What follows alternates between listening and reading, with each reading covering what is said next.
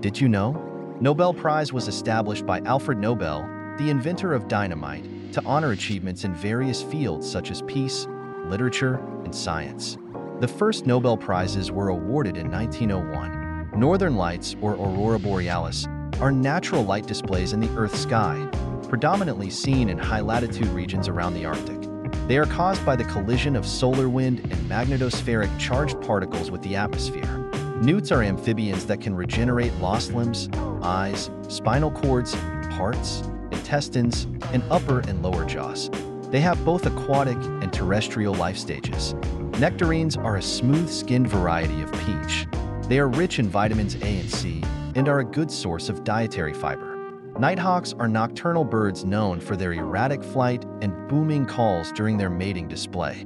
They are insectivores, feeding primarily on flying insects. Follow for more interesting facts.